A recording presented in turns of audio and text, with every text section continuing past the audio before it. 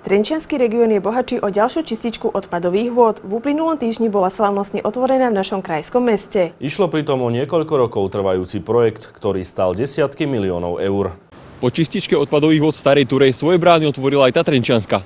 Uvedenie čovky do prevádzky pritom patrí k najvýznamnejším udalostiam v Trenčianskom kraji. Tento projekt, intenzifikácia čistiarní odpadových vod, odkanalizovanie a zasobovanie pitnou vodou v Trenčianskom regióne je jeden z najväčších projektov v našom regióne. Ľavobrežná čistiareň odpadových vod je určená pre 57 tisíc ekvivalentných obyvateľov. Čo sa týka vodnej linky aj kalovej linky, je vybavená novými technológiami, ktoré splňajú všetky parametre, aj čistiaci proces, ktoré sú určené predpismi Európskej únie. Na Slovensku boli v poslednej dobe otvorené už desiatky čističiek. Tie sú financované z operačného programu Životné prostredie.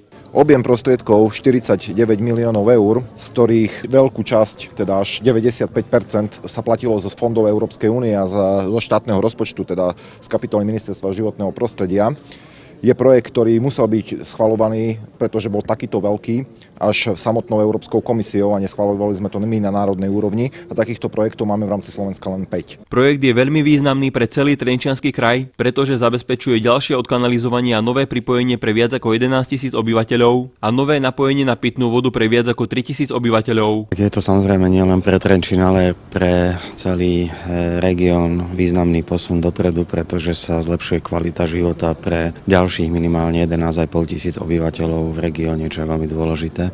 Pre Trenčín je to dôležité, pretože sme dokončili vlastne celú kanalizáciu v Trenčíne, aj v tých častiach, kde nebola. V rámci projektu, ktorý trval viac ako 10 rokov, bolo obnovených 5 čističiek. Okrem Trenčína v Novom meste nad Váhom, Trenčianských Stankovciach, Trenčianskej Teplej a Vivanovciach. Je to pre celú Terenčianske vodárne a kanalizácie pre tie mesta a obce, ktoré sú združené v tejto spoločnosti. Je to určite veľmi pekný deň, pretože realizáciou tejto čistiarne odpadových vod dokážeme zabezpečiť rozvoj našich miest a obcí na niekoľko, možno desiatok rokov dopredu a to je veľmi, to je veľmi, veľmi pozitívna správa pre rozvoj podnikateľského prostredia, ale aj pre rozvoj bytovej výstavby v našich obciach.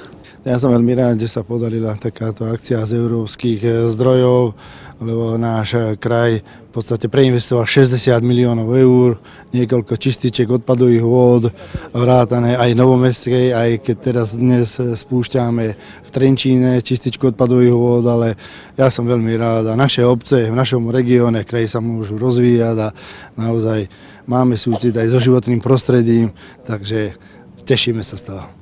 Pozitívny efekt projektu je nedoceniteľný najmä pre trvalo udržateľný rozvoj celého regiónu a samozrejme pre ochranu podzemných aj povrchových vôd, najmä s ohľadom na fakt, že rieka Váh je dôležitým riečným tokom nadregionálneho významu. Juraj Uríšek, Televízia Pohoda.